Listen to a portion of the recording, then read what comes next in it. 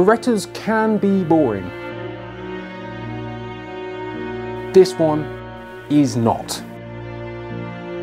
This is the limited edition muzzle loading Beretta to mark their third centenary. Let's have a look.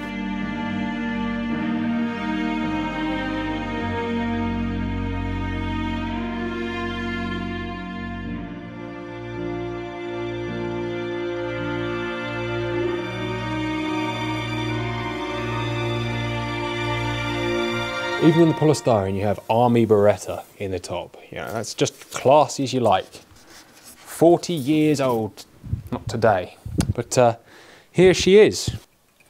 Lot 5099. I don't know where I'm advertising this. I really like this. So, uh, let's get it all out of the box and show you what we've got. Ooh, a thing. Another thing. So before we look at the gun, it's worth looking at some of the accessories. You have shot and powder flasks, Beretta branded shot and powder flasks. And you must admit that's a pretty sweet looking thing. You have, I think somewhere there'll be a cap dispenser, jags, spare rod, there's your cap dispenser, all sorts of stuff. You can all imagine, woodcutter. This is a really sweet little machine and setup get you going in any form to start shooting a muzzleloader. And if you're going to start shooting a muzzleloader, you might as well start with a Beretta one.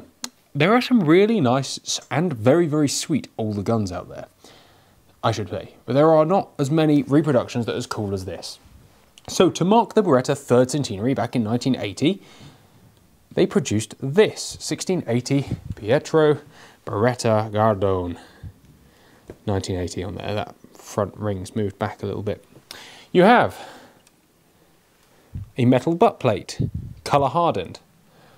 A little bit of engraving on the back there. A little bit of engraving, not machine. Oh, it is machine, sorry. Rolled. You have your action block, your barrel. It is an over and under configuration, which is quite sweet. You have, strangely, a raised rib all the way along it with your silver inlaid writing. You have two colour hardened barrel bands keeping your three part stock in place. A raised cheek piece, trigger tang, very tool hammers with acanthus carving, sling swivel front and back, and a side fitted ramrod. Um, with 30 inch, like I said, brown barrels with little bead sight on the front. The first thing I'll say about this gun is that it is not well finished. I mean, and certain that certainly parts of that is signs of the times because back in 1980 there weren't very many good reproduction arms about, so this was actually very good by comparison to others. It does kind of upset me the fact they went to all the effort of making this that they wouldn't put just a little bit of extra effort in, in some of the finishing. But that's by the by, and I wasn't there. And to be fair, some of the things like the polyurethane lacquer and all that is just classic not of the time, Beretta. Your little oval underneath that says third centenary of Beretta. So the coolest thing about this gun is that you can use it. You can take your over and under 30 inch Beretta, when people ask you, oh, I just got old Beretta over and under 30 inch job, 30 inch game gun, that's even better, and take it and go and shoot clays, go and shoot game, and just really truly enjoy it. This gun has never been used, so was it, would it be a bad example? It's only booked at 300 to 500 quid.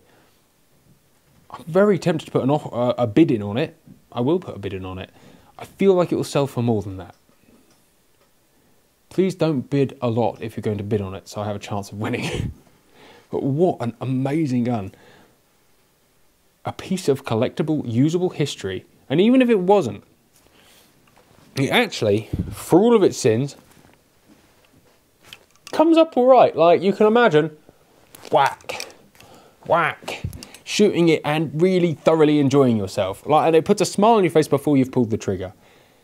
Is it going to be great with steel? Probably not. So best buy it now and use it before we have to change. Alternatively, put a bismuth through it. You're not going to be shooting it at a high rate of knots, are you? If it wasn't such a collectible, you know, you'd feel almost the urge to refinish it into an, an oiled finish and replace the barrel bands with, with less cheapy ones, or at least put something in place, pin them so they're not quite so flexible. Or you just go out and shoot it and enjoy your beautiful Beretta and then get someone else to clean it for you. What a wicked piece of kit that is. Not overly rare. I mean, I think they made hundreds, not thousands, but hundreds instead of tens. What a special thing. I genuinely can't stop smiling when looking at it. If you do buy this gun, please let me play with it. The end. I only want it once, maybe twice, to go and have a play with. It is awesome. Guys, thank you very much for watching. The coolest Beretta you will see, if not one of the rarest to see, the most unusual Beretta you'll ever see. There you go, that's about a title. Guys, hope you've enjoyed this video. Thank you very much. Thanks for Holts for letting us play with this. And um, please, if I don't win it and someone else does, let's, let's ha let us have a go.